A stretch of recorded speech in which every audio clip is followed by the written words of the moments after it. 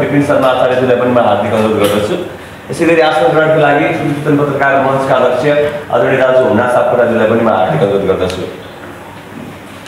हामीले भोलि आयोजना गर्न लागेको right path concrete two thousand twenty फोरको बारेमा जानकारी दिनु हुनको लागि राइट पाथ करियर काउन्सिलिङ चितवनका प्रमुख सुरज पौडेल सरलाई म हार्दिक अनुरोध गर्दछु।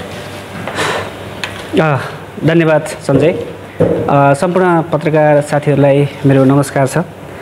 हामी राइट पाथ करियर काउन्सिलिङ लाइन्सचोक नारायणगढमा अवस्थित रहेर विगत छ वर्षदेखि वैदेशिक शिक्षाको लागि जान चाहने विद्यार्थी भाइ बहिनीहरूको लागि सही परामर्श गर्दै आइरहेको म यहाँनिर जानकारी गराउन चाहन्छु।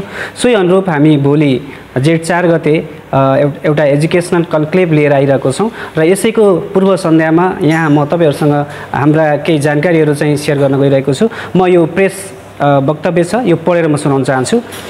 हाम्रो संस्था राइट पाथ करियर काउन्सिलिङले मिति दुई हजार एकासी दुई चार गतेका दिन संस्थाकै कार्यालयमा ग्रान्ड एजुकेसन कन्क्लेभ दुई हजार चौबिस आयोजना गर्दैछ। वैशाख उन्तिस गतेबाट सुरु भएको कन्क्लेभ धनकुटामा पनि भव्य रूपमा हामी सम्पन्न भइसकेका छौँ र आज हामी हेटौँडामा पनि सम्पन्न गर्न गइरहेका छौँ भने भोलि जेठ चार गते आफ्नै कार्यालयमा आयोजना गर्ने लागेका हौँ। हामीले कन्क्लेभमा विद्यार्थी भाइ बहिनीहरूको लागि आवश्यक पर्ने हरेक एप्लिकेसन प्रोसेसिङ चार्जहरूको शत प्रतिशत छुट छुटको व्यवस्था गरेका छौँ। आकर्षक केही विद्यार्थी भाइ बहिनीहरूलाई आवश्यक पर्ने गिफ्ट ट्याम्परहरू पेन डायरीहरूको विशेष व्यवस्था गरेका छौँ। साथै विद्यार्थी भाइ बहिनीहरूको सँगसँगै केही इन्टरटेनमेन्टको लागि पनि हामीले मुभी टिपर टिकटलाई पनि फ्री अफ कस्टमा दिने व्यवस्था गरेका छौँ।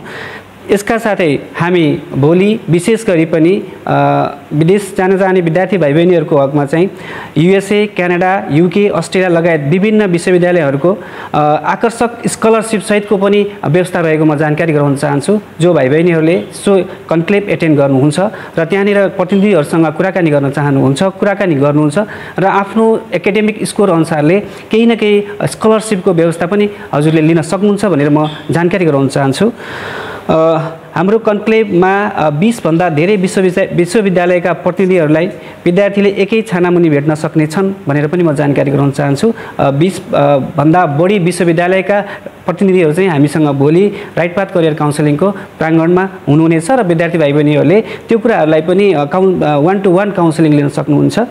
साथै हामी भोलिको प्रोग्राममा एटेन्ड गर्ने विद्यार्थी भाइ बहिनीहरूको हकमा हामीले अ, जुन फी छ सिक्स थाउजन्डभन्दा माथि जुन आइएल्सको फीलाई हामीले टु थाउजन्ड एटी वानमा दिने व्यवस्था पनि गरेका छौँ किनकि हामी दुई हजार एकासी सालमा रनिङ भइरहेकोले यो हामीले भोलि जुन विद्यार्थी भाइ बहिनीहरूले त्यो प्रोग्राम एटेन्ड गर्दाखेरि टु थाउजन्ड एटी वानमा आइएल्सलाई पढ्न सक्नुहुनेछ। र ग्रान्ड एजुकेसन कन्क्लेभमा युनिभर्सिटीका रिप्रेजेन्टेटिभबाटै विद्यार्थीले सत्य तथ्य जानकारी पाउने व्यवस्था पनि हामीले मिलाएका छौँ। किनकि विद्यार्थी भाइ बहिनीहरूको अभिभावकहरूको चाहिँ एउटा इन्ट्रेस्ट के हुन्छ भने हामीसँग त जुनसुकै बेलामा पनि ठोकिनुहुन्छ जुनसुकै बेलामा पनि उहाँहरूले हाम्रा कुराहरू सुन्नुहुन्छ। उहाँहरूले सही तरिकाले विश्वविद्यालयकै प्रतिनिधिबाट सुन्ने व्यवस्था चाहिँ हामीले लिएको म जानकारी गराउन चाहन्छु। यस कार्यक्रमले विद्यार्थीको रिसर्चमा पनि मद्दत पुर्याउने विश्वास लिएका छौँ। किनकि भोलि जो विद्यार्थी भाइ बहिनीहरूले जुन देश र जुन युनिभर्सिटीको बारेमा जानकारी लिनुहुन्छ तिनीहरूले चाहिँ फेरि आफूले रिसर्च गर्न चाहनुभयो आफूले खोजनीति गर्न चाहनुभयो भने उहाँहरूले उहाँहरूलाई त्यो खोज रिसर्च बेसमा पनि अ, मद्दत पुर्याउने हामीले विश्वास लिएका छौँ। र यो केही समय जुन प्लस प्लस टू दिएर बसेका विद्यार्थी भाइ बहिनीहरू हुनुहुन्छ उहाँहरूले अब यो तिन महिनाको टाइम छ।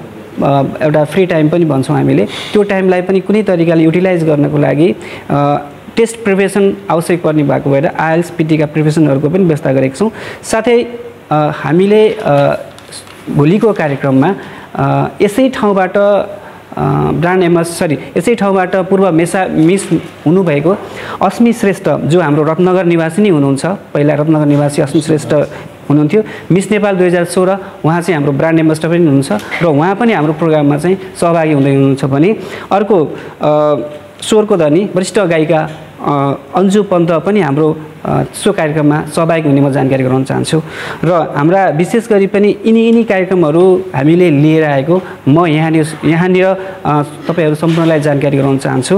र अब हामी राइट पाथ करियर काउन्सिलिङ भोलि बिहान दस बजे लाइन्सचोक नारायणगढमा आफ्नै भवनमा सरी आ कार्यालय उसैको आफ्नै कार्यालयमा चाहिँ यो कार्यक्रम गर्न गइरहेको म यहाँहरूलाई जानकारी गराउन चाहन्छु। अब केही बाँकी रहेका केही कुराहरू छन् भने यहाँहरूले सोधिदिन म आग्रह गर्न चाहन्छु। अध्ययनको लागि विदेश जाने विद्यार्थीहरूको लागि चाहिँ यो तपाईँहरू कन्सल्टेन्सीले गर्ने थप सेवा सुविधाहरूको विषयमा पनि भनिदिनु। अनि यो राइट पाथलाई नै विद्यार्थीहरू चाहिँ किन रोज्ने त? यो विषयमा पनि बताइदिनु न। धन्यवाद। विशेष गरी म राइट पाथलाई नै विद्यार्थीले किन चुज गर्ने भन्ने विषयमा म विगत बिस वर्ष आज मेरो जिन्दगीको बिस वर्ष कुनै सरकारी जागिरमा हुन्थेँ भने बिस वर्षमा रिटायर भएर पनि अर्को हुन्थेँ।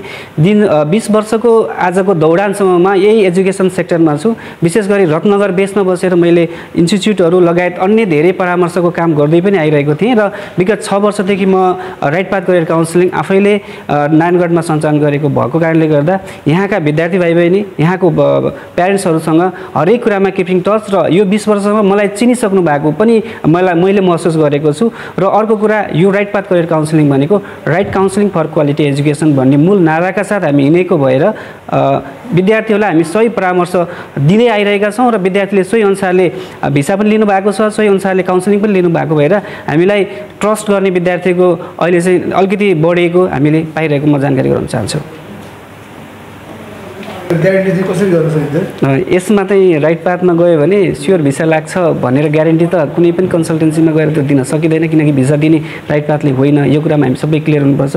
तर राइट पाथमा गएपछि एउटा विद्यार्थीले खोजेको सही परामर्श चाहिँ पाउँछ भन्ने कुरामा हामी हन्ड्रेड पर्सेन्ट ग्यारेन्टी दिन सक्छौँ। उसले खोजेको रोजेको र उसले चाहेको कोर्स युनिभर्सिटी कलेज युनिभर्सिटी र कन्ट्रीको बारेमा चाहिँ हामी जानकारी दिएर पठाउन चाहिँ सक्छौँ।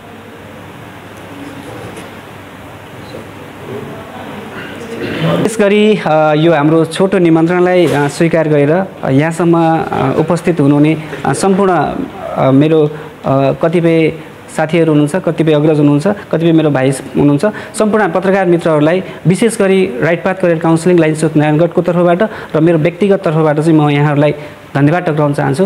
र तपाईँहरूले पनि सही सत्य तथ्य कुराहरूलाई चाहिँ निकालिदिनु हुनुहुन्छ र खोज नीति पत्रकारिता गरिदिनु हुन्- हुनेछ भन्ने विश्वासका साथ। र हामीले गर्न लागेको यो कन्क्लेभ प्रोग्रामलाई चाहिँ निष्पक्ष तरिकाले यसको प्रोग्रामको बारेमा केही ब्रिफिङ पनि गरिदिनु हुनेछ र भोलि यस प्रोग्राममा यहाँहरू सम्पूर्णलाई म उपस्थितिको लागि निमन्त्रणा गर्दै यहाँसम्म उपस्थित हुनुभयो। यहाँहरूलाई हार्दिक धन्यवाद टक्राउँदै बिदा हुन चाहन्छु। नमस्ते।